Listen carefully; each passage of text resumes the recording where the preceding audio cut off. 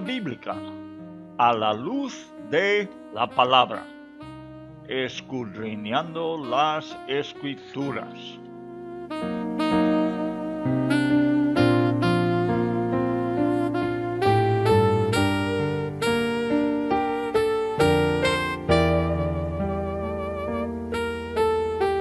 Luz a las Naciones, canal cristiano de comunicación presenta a la luz de la palabra, un estudio expositivo de la palabra de Dios, una presentación minuciosa de toda la escritura, porque es inspirada por Dios y útil para enseñar, para redarguir, para corregir, para instruir en justicia a fin de que el hombre de Dios sea perfecto, enteramente preparado para toda buena obra.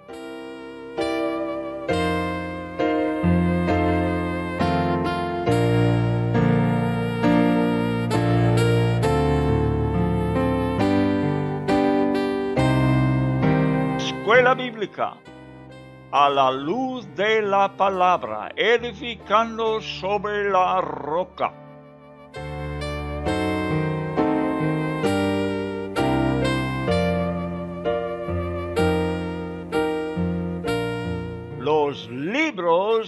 Históricos. El Dios de la historia.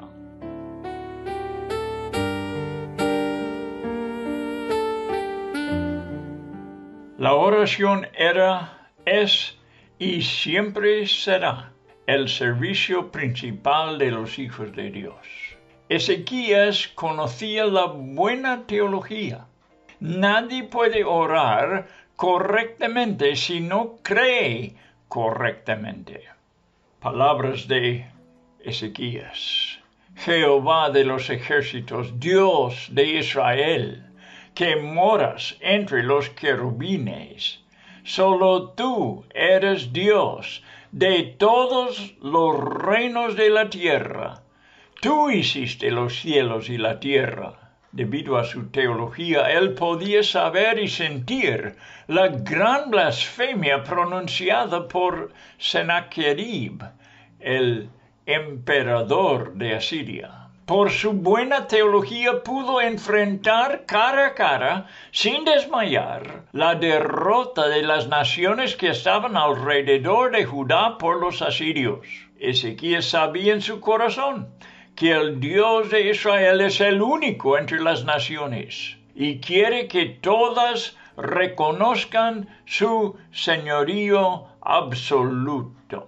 Muy buenas tardes amigos. Bueno, Estamos en un estudio muy interesante, creo yo. Eh, claro, estamos concluyendo con la historia de, de los reyes de Israel. Estamos precisamente en el libro de Segundo de Reyes. Al mismo tiempo estamos comparando los, los pasajes paralelos de Segundo de Crónicas. Pero en estos días tenemos algo especial porque tenemos la misma historia en el profeta, el libro del profeta Isaías. Y yo voy eh, acercándome a este libro. Sea, lo estoy usando yo para, para el mensaje. Y si hay una diferencia entre lo que se dice aquí y lo que se dice en Segundo de Reyes o Segundo de Crónicas es, por es debido a esto, que yo estoy concentrándome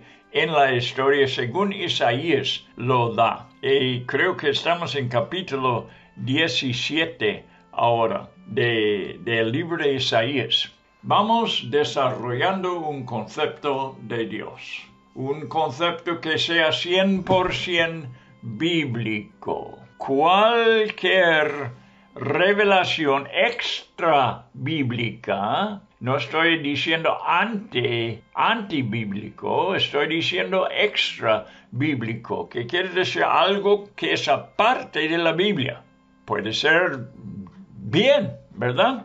Pero no estoy hablando de lo que es contra la Biblia, estoy hablando de lo que es más allá de la Biblia. Y con todas estas cosas tenemos que tener, ¿qué es la palabra? Sospechar o de todos modos no dar la misma autoridad, la misma atención a lo que sea extra bíblica, a lo que es la palabra de Dios. Esta es la máxima autoridad. Y queremos formar nuestro concepto de Dios 100% de la Biblia. Al mismo tiempo estamos aprendiendo los caminos de Dios. Espero que no se canse de eh, oírme decir las mismas cosas en cada programa, pero yo lo veo esencial. Empezar el programa con este propósito número uno que el cristiano debe tener. Demuéstrame, Señor, revélame tu personalidad, tus atributos. quiero aprender cómo haces tú las cosas. Esta es nuestra oración y y quiero empezar cada programa así. Y con eso dirigimos nuestro corazón al texto. Estamos todavía en Isaías 37, la, donde estamos eh, en Segundo de Reyes, déjame ver, eh, sería capítulo 19 de Segundo de Reyes y Segundo de Crónicas capítulo 32 desde versículo 20 hasta 23 solamente. Pero todo el capítulo de Isaías tiene que ver con eh, el rey Ezequías, el buen rey Ezequías. Eh, es un rey que, que hizo lo bien delante de Dios, me encanta su historia porque viene a terminar la historia de los reyes de Judá. No era el último en ninguna manera, pero ya está acercando el fin. Y en ese día, y, esto es lo que me anima, que en, en este día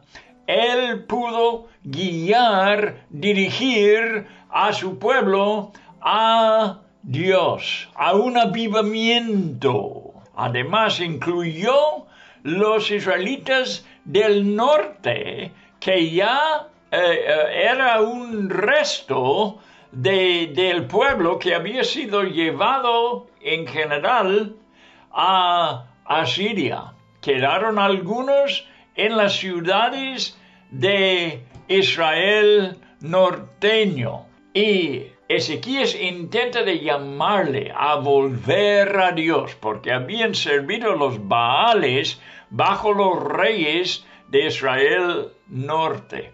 Y así que es un tiempo para mí muy bueno y un tiempo que me anima en cuanto del día de hoy, en que pienso yo estamos en los mismos tiempos, que está acabando la historia de la humanidad. Está acabando el tiempo de los gentiles. Y podemos, si Ezequías pudo, nosotros podemos ver una vez más un mover del Espíritu Santo. Y este es mi anhelo. Y esta es la necesidad que tenemos. Bueno, ¿qué debemos hacer entonces? Como acabo de decir en la introducción, es tiempo de orar que no hay cosa más importante para el cristiano que la oración. Y además, la oración es una planta generadora de poder que libera energía divina. Voy a repetirlo. Si puedes apuntar más o menos lo que estoy diciendo eh, para recordarlo. La oración es una planta generadora de poder que libera energía divina. No estoy exagerando. la oración tiene poder que es más allá de cualquier otra acción que el cristiano puede tomar. La oración delante de Dios es poderosa, más poderosa que las canciones, más poderosa que las predicaciones, las enseñanzas. La oración es el poder de Dios.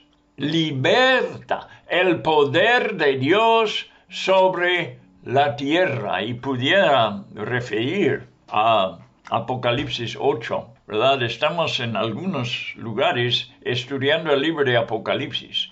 En Apocalipsis 8 empiece con que había una pausa en el cielo, silencio, por media hora. Y el, en ese tiempo el ángel, un ángel ahí en el cielo, toma las oraciones de los santos y lo mezcla con eh, el incienso que hay en el altar celestial. Y el humo sube a la presencia de Dios y como resultado hay un mover tremendo, poderoso sobre la tierra. Alguien ha dicho, y es muy cierto, cuando nosotros oramos, no es principalmente para que eh, nuestras necesidades sean escuchadas en el cielo, sino que la voluntad de Dios se haya hecho en la tierra.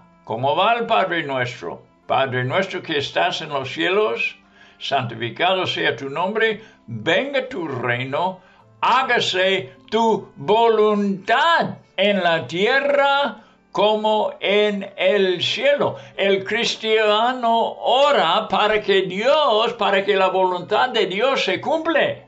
No para que nuestra voluntad se cumpla en el cielo, sino que la voluntad de Dios sea cumplido aquí en la tierra. Este es el propósito número uno de la oración. Bien, entonces queremos ver un mover de Dios en la tierra y la oración es lo que mueve a Dios de mover y hacer eh, cosas. Digo, no es que Dios necesita motivación, ¿eh? que no malinterpreta alguien lo que estoy diciendo. No, eh, Dios siempre está motivado a cumplir su voluntad sin nuestra ayuda. Pero Dios hace las cosas así. Estamos aprendiendo los caminos de Dios. Los caminos de Dios nos enseñan que cuando Dios quiere hacer algo en la tierra, Él mueve a su pueblo a la oración. Empiece con la oración. Esta es la manera en que Dios obra y pudiera dar muchos ejemplos para ilustrarlo, pero bueno, vamos adelante. Eh, pero la oración, estoy enfatizando lo que es la oración y lo tengo que hacer porque hoy en día, perdóname, hermano mío, pero yo he visto días mejores en cuanto de la oración. Días en que los cristianos resolvían las cosas por medio de la oración, no por los planes humanos y las potencias eh, mundanas, sino ellos se fueron, se dependían de Dios y se recuerda, se acordaron de que sin Cristo no podemos hacer nada. Entonces estamos orando a Él, que Él obre.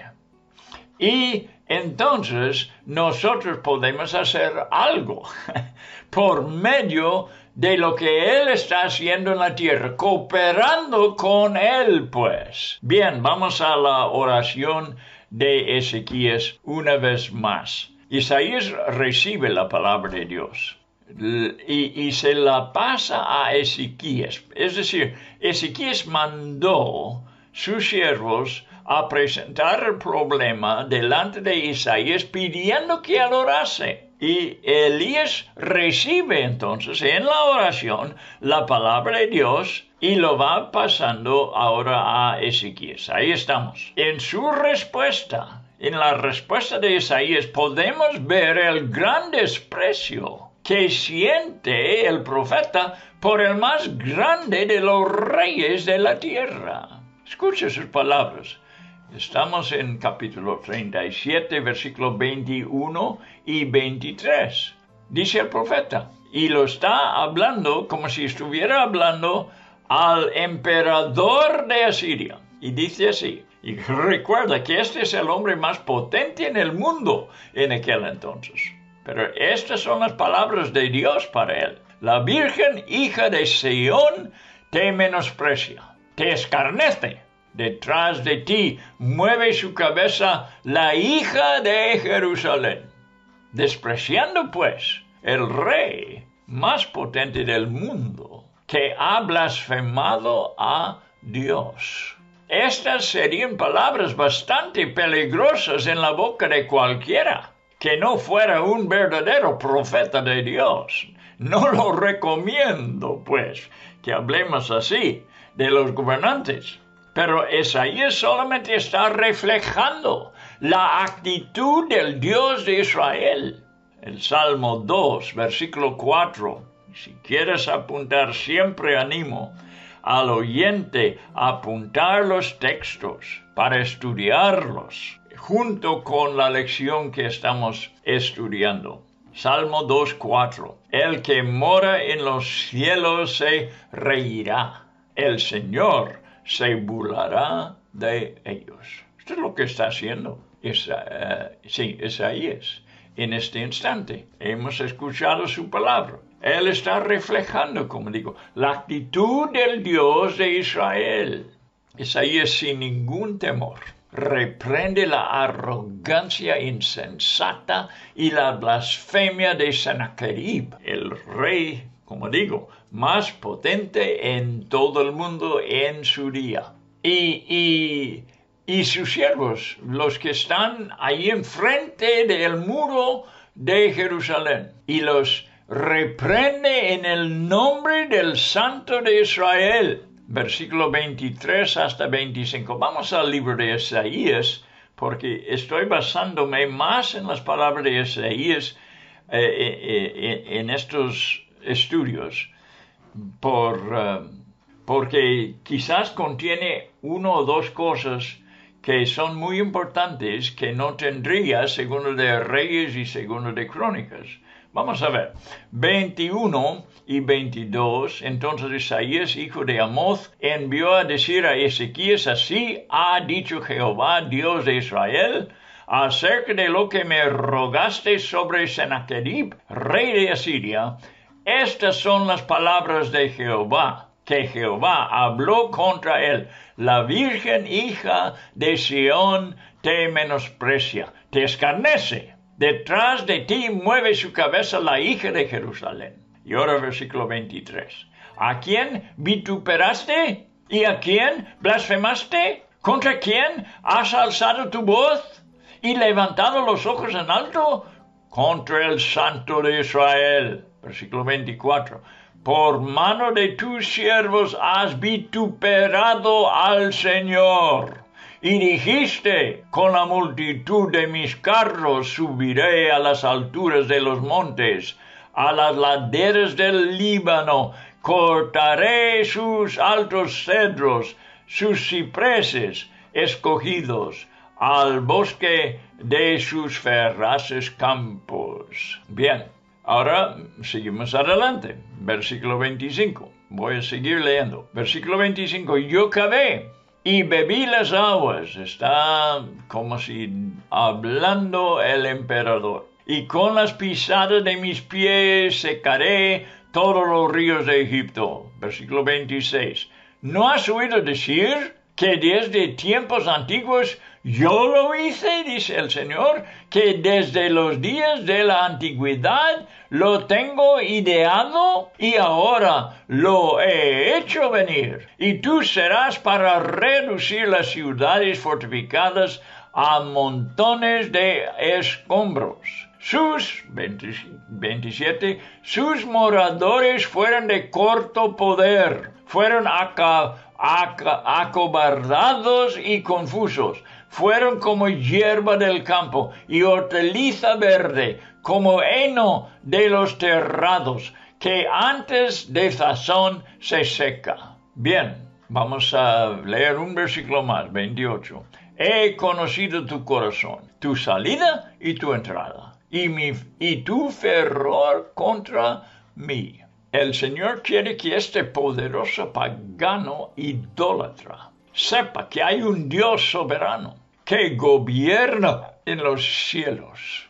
Dios estaba llevando a cabo su eterno propósito en la tierra, utilizando el rey de Asiria, sin que él ni siquiera lo supiera. En este mismo momento vamos a declarar sin reservas que ningún mero hombre puede decir que por medio de sus capacidades haya ocurrido algo bueno. Es una insensatez por parte de cualquier persona pensar que el éxito comprueba su justicia o rectitud. Los poderes políticos se levantan y caen ante Dios como Cristo mismo le dijo al malvado Pilato cuando dijo, y estoy citando ahora Juan 19, versículo 10 y 11, ¿no sabes, dijo Pilato, que tengo autoridad para crucificarte y que tengo autoridad para soltarte? Respondió Jesús, ninguna autoridad tendrías contra mí si no te fuese dada de arriba. Jesús está reconociendo la autoridad de su Padre, la soberanía del Padre en el cielo sobre todas las cosas. Lo que estaba pasando ese día en el juicio de Jesús y delante primero de, eh, de los sacerdotes, después delante del gobernador Pilato, lo que estaba pasando este día era lo que Dios había predicho. Solamente cumple lo que Dios tenía planeado hacer. Hay que saber este principio espiritual. Dios suelta al diablo, digo suelta, soltar en el sentido de que pueda hacer lo que él quiere, pero de forma limitado. Dios pone los límites. Hasta aquí, hasta aquí dirá Dios a Satanás. Pero sí, suelta a Satanás y ¿qué está haciendo? Él está haciendo lo peor que pueda contra Jesús, su enemigo mayor, ¿verdad? Y está logrando algo, está logrando que sea condenado a la cruz, está logrando que sea crucificado, está logrando que ponen los, los, los eh, clavos en las manos, en los pies, y él está allí en la cruz inmovible, no puede ni moverse. Y el diablo gozándose, por fin he vencido al Hijo de Dios. Pero Dios le dio permiso hasta allí. Y no sé cuándo el diablo se dio cuenta que todo fue un gran error de parte de él, porque debía saber, él sabe los principios espirituales, igual que nosotros, quizá mejor, que nosotros, que el alma que peca, ésta morirá. Y el que, el que él ha animado a la gente a crucificar, no ha pecado, no debe morir. Y entonces, no sé, digo, cuando se despierta a la realidad que está muriendo uno, un justo, está muriendo uno que nunca debe morir. ¿Por qué? yo creo de repente, si no lo supo entonces, lo sabe ahora, que él estaba muriendo por otros pecados, por otros pecadores.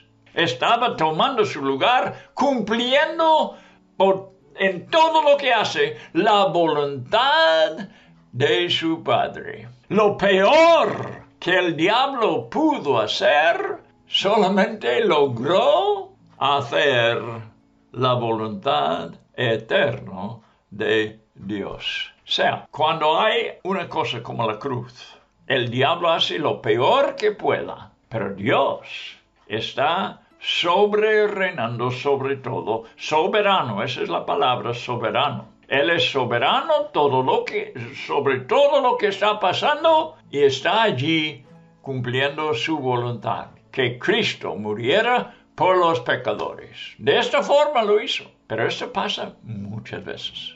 El diablo queriendo hacer lo que él quiere hacer, pero Dios al mismo tiempo soberano sobre todo, cumpliendo sus deseos eternos. Recuérdalo, te ayudará mucho en la vida. Bueno, eh, no sabes que tengo autoridad para crucificarte. Y Jesús dice, no, tú la autoridad que tienes es lo que Dios te ha dado para este momento. Este es tu hora, lo dijo Jesús, ¿verdad? A los fariseos, a los saduceos. Este es tu hora, tu hora y el tiempo de las tinieblas. Ellos tenían su tiempo de actuar y hacer lo que quisieron y al final que se cumplió la voluntad de Dios nada más. El torno, el torna, perdón, los corazones de los reyes en la dirección que Él quiere. Nuestro Dios, dijo el salmista en el Salmo 115, 3, si quieres apuntarlo. Nuestro Dios está en los cielos. Todo lo que quiso ha hecho. El Dios soberano del cielo controla el futuro del emperador Sennacherib y le declara en versículo 29, Isaías 37, 29, Pondré pues mi garfio en tu nariz y mi freno en tus labios y te haré volver por el camino por donde viniste. Desde este punto en adelante él, irá para atrás y no avanzará más. Sus días le avanzan y conquistar han de avanzar. Sus días de avanzar y conquistar han terminado. El Dios que permitió su éxito le llevará a la derrota. Ahora, Dios tiene un mensaje para Ezequías por medio de Isaías, dándole una señal, demostrando que todo lo que ha oído es verdad durante dos años los asirios habían devastado la tierra, pero ahora Dios está obrando sobrenaturalmente. Dios siempre obra sobrenaturalmente para su liberación de su pueblo y asegurando que la amenaza asiria no ocurrirá jamás. Judá sembrará, comerá los productos y prosperará. En versículo 30 y 31 le da como señal al rey Ezequías. Judá se ha humillado. Qué bueno cuando el pueblo de Dios se humilla y ha vuelto a Dios arrepentido. Su rey Ezequías ha orado con sencillez y humillación el Señor Dios ha dado su palabra a Isaías y ahora el Señor desnuda su santo brazo para una potente liberación. Mucho más allá que eh, había, imaginado posible el pueblo. Entre todas las naciones alrededor, solo, solo Judá no se rinde jamás frente al poder del imperio asirio. Ningún asirio entró en Jerusalén, ninguna saeta fue arrojado contra ella. Nadie se acercó al muro con el escudo alzado en defensa y ningún baluarte fue levantado en contra. Ve versículo 33 hasta 35. Porque yo ampararé a esta ciudad para salvarla por amor de mí mismo y por amor de David mi siervo. ¿Ves? ¿Ves? El bienestar de Jerusalén está atado con la voluntad del Señor. Lo está haciendo para sus propósitos.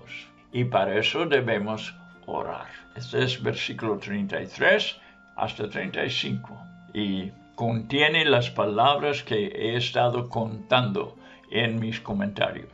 ¿De qué manera lo hizo Dios exactamente?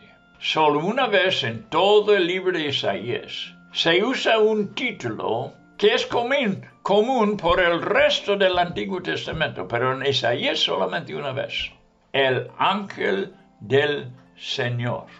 Se usa por primera vez este término. El ángel del Señor sea el mensajero. Palabra ángel quiere decir mensajero del Señor. O sea, el verbo que era con Dios y que era Dios. Mensajero no será ángel del Señor, el ángel, no un ángel. Dios dijo que él mismo, él mismo defendería la ciudad, salvándola. Y eso es exactamente lo que hizo. Lo hizo en, en la persona divina de su eterno Hijo. En una sola noche, Él atacó el campamento del enemigo y al amanecer 185 mil soldados asirios habían caído muertos. Leeremos. Versículo 36. Y salió el ángel de Jehová y mató a 185 mil en el campamento de los asirios. Y cuando se levantaron por la mañana, aquí que todo era cuerpos de muertos. ¿Ves qué tan fácil Dios puede arreglar el asunto? Si Dios está con nosotros, no importa qué tan grande es el ejército del enemigo y qué tan pequeños somos nosotros y nuestros esfuerzos.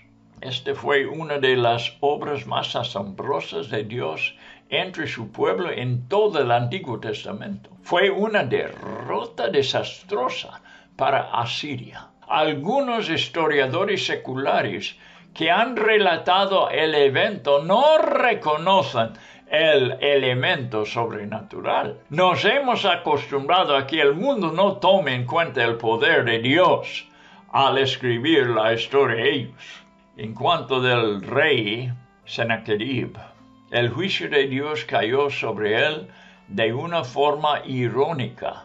Regresó a su ciudad Nínive el hombre que blasfemó contra el Dios de Israel y exaltó a sus propias deidades, estaba en versículo 38 cuenta, estaba adorando en el templo de Nisroch su Dios. Y allí le cae encima el desastre. Fue allí, en este estado, que el Todopoderoso le dio un golpe de muerte vergonzoso y deshonró a su Dios para agravar aún más su deshonra. Sus propios hijos fueron sus asesinos. Y así, amigo mío, transcurrió el fin de un líder mundial que se atrevió a desafiar al santo de Israel. La historia de Asiria está bien, bien documentado en la historia universal del mundo Cualquier estudiante de la historia universal sabe de los asirios. Pues esto ya sabemos por la Biblia. ¿Cómo fue derrotado y la razón por qué murió el emperador famoso que había escrito aún en las piedras, había grabado la historia de sus triunfos. Fue derrotado al final. Ahora vamos al capítulo 38 de Isaías. ¿Y dónde estamos? En uh, Segundo de uh, Reyes, eh, será el capítulo 20, si quieres verlo en Reyes está bien, o si en Segundo de Crónicas es Segundo de Crónicas 32, desde versículo 24 hasta 33. Lo tenemos y es muy especial que tenemos la historia en el libro del profeta mayor Isaías. Y esto se trata, este capítulo se trata de la enfermedad de Ezequías y su recuperación. en Isaías 39 pasamos a ver el compromiso que hizo con Babilonia, con Babilonia. Y esta era la parte triste de toda la historia de Ezequías. Era muy fiel en todo, pero se hizo un compromiso con Babilonia que no debiera hecho. Dios que sabe el futuro vio que era, que era un error grande de parte de él. Por favor, abre tu Biblia entonces en Isaías capítulo 38 para poder seguir el texto mientras intento comentarlo. Es un capítulo complejo, pero nos servirá para enseñar más de los caminos de Dios. Al estudiar las escrituras, no debemos buscar apoyo para nuestras interpretaciones y opiniones sobre doctrinas sino abrir nuestros corazones a la personalidad de Dios y ver su manera de tratar con la humanidad. Yo creo que a veces nosotros llevamos nuestro entendimiento más allá de lo que debe ser. Aún en el mundo, por ejemplo, en el mundo de medicina, hay doctores humildes y honestos que digan que saben muy poco en cuanto de lo que ha de saber, en cuanto de lo que hay en la ciencia de la medicina. Poco saben. Poco sabemos de la creación de Dios. Y los humildes lo reconocen, que hay más que descubrir, más preguntas en otras palabras que respuestas. Y doctrinalmente yo creo que los cristianos debemos tener la misma actitud. Gracias a Dios por lo que sabemos, porque, por lo que nos ha revelado. Pero nos falta más, mucho más que aprender. Y así que vamos a ser humildes con nuestras doctrinas y nuestras opiniones y nuestras conclusiones y vamos a estar con el corazón abierto para aprender más. Esta es la correcta actitud de un cristiano. Canso a veces de escuchar los argumentos, cada quien diciendo que sabe mejor que el otro. Seguramente esta no es la actitud cristiana, ¿eh? Este es carnal. Este es carnal. ¿Para qué? Bien, vamos adelante. Al contemplar la soberanía de Dios, tenemos que tomar en cuenta la relación entre Dios y el hombre, que también figura en la ecuación. Abraham fue su amigo y él hablaba y tenía comunión con Abraham. Esta es una característica maravillosa de la personalidad de Dios. En Génesis 18, 17, Jehová dijo, encubriré yo a Abraham lo que voy a hacer. qué guapo, qué guapo. Yo no voy a hacer nada sin contarlo con mi amigo Abraham. Dios quiere amistad con la humanidad. Cristo lo dijo. No os llamo siervos, os llamo amigos, porque estoy contándoos lo que he escuchado de mi Padre. Estoy contando secretos profundos. Estoy dándoles a entender lo que el Padre está haciendo. Sois mis amigos. Qué guapo es eso. ¿Encubriré yo a Abraham lo que voy a hacer? Qué, qué bueno que es así. Que Dios busca relación con nosotros. Y lo ha buscado desde la creación. Por eso creó el hombre. El hombre es distinto que los ángeles, distinto que todo lo demás de la creación. El hombre es débil, sí. No tiene el poder físico de los ángeles, no tiene el poder espiritual aún, ni tiene la sabiduría que los ángeles tienen, la inteligencia. Pero lo que sí tiene es una capacidad de relacionarse con Dios. Por eso fue formado en su imagen a su semejanza, porque el hombre, y solamente el hombre, puede tener comunión íntima con el Señor. Y estoy contándote ahora la cosa más guapa, la cosa más hermosa en la historia de la humanidad, su relación con Dios. Y esa es la vida eterna.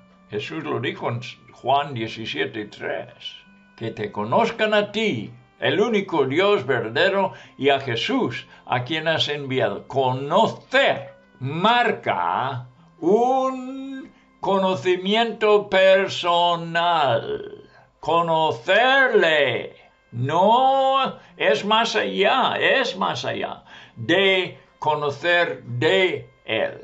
Es conocerle. Yo conozco, dijo el apóstol Pablo, en quien he confiado, creído.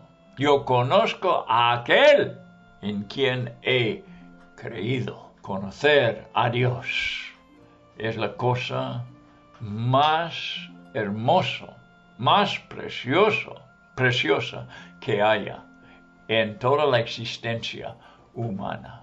Bien, Jehová dijo, encubriré yo a Abraham lo que voy a hacer. El Señor también tenía intimidad con Moisés y hablaba con él cara a cara, como habla cualquiera a su compañero. Estoy citando Éxodo 33, 11. Apúntelo para que te gozas. Que el hombre pueda tener esta íntima comunión, como cuando uno habla a su amigo, cara a cara, como habla cualquiera a su compañero. Me he asombrado con el siguiente pasaje. Cuando Dios quiso destruir a los israelitas, después de haber hecho y adorado el becerro de oro, y dijo a Moisés, déjame.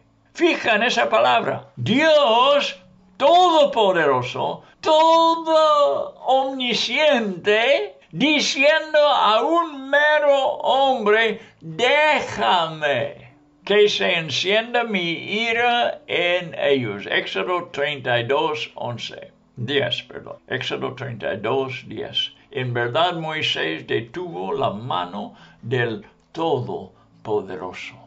Digo, al considerar la soberanía de Dios tenemos que ver este asunto de una relación íntima con el hombre, porque tiene que ver. Es muy evidente en la Biblia que Dios aprecia esta relación con el ser humano. En la Biblia vemos muchas veces el Señor detener el juicio que había decretado sobre algún pueblo. Un ejemplo clásico, clásico es cuando Jonás profetizó la destrucción del pueblo de Nínive. Y la gracia y la misericordia de Dios se manifestaron en el caso. Hay otra profecía interesante de los discípulos de Tiro a Pablo. Hechos 21:4. Ellos decían a Pablo por el Espíritu que no subiese a Jerusalén. Agabo también profetizó sobre el mismo asunto en Cesarea y todos los cristianos intentaron persuadirle a que no siguiera, pero al final se resignaron. Y en Hechos 21:14 dijeron, hágase la voluntad del Señor. Tenemos que concluir que en cada caso, al final de todo, se hizo la voluntad de Dios, porque Él es soberano y inmutable. No lo puedo explicar. He explicado lo que he podido y no puedo explicar más, pero me gozo en esta relación que el ser humano puede tener con Dios. Podemos llamar a estas profecías condicionales, ya que dependen de la reacción de las personas a quienes van dirigidas. No son predicciones absolutas. Al leer la Biblia, esta es una de las cosas que uno tiene que asumir. Lo que fue predicho en casos como los que hemos mencionado, vemos que no fue la palabra final. El pueblo que conoce a Dios, incluso el rey Ezequías, al recibir el mensaje del versículo 1 de capítulo 38, sabe acerca de este principio divino. Que dice el versículo 1, en aquellos días Ezequías se enfermó de muerte y vino a él el profeta Isaías, hijo de Amós, y le dijo, Jehová dice así, pero es condicional. Ordena tu casa porque morirás y no vivirás. En capítulo, eh, en, en, este versículo, de, dice en aquellos días, ¿verdad? Empieza así es decir, en los días del asedio de los asirios contra Jerusalén. Ocurrió en el año decimocuarto del reinado de Ezequías, dice en Isaías 36, 1, quien comenzó a reinar cuando tenía 25 años. Nos dice en Segundo de Reyes 18, versículo 2. Y solo 39 cuando enfermó. Recibió 15 años más de vida y reinó un total de 29 años.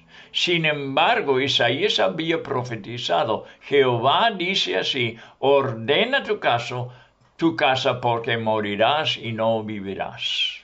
Bien, aquí voy a dejar este estudio interesante, creo, informativo de los caminos de Dios, porque estamos estudiando un camino que a algunas personas pueden parecer, parecer contradictorio.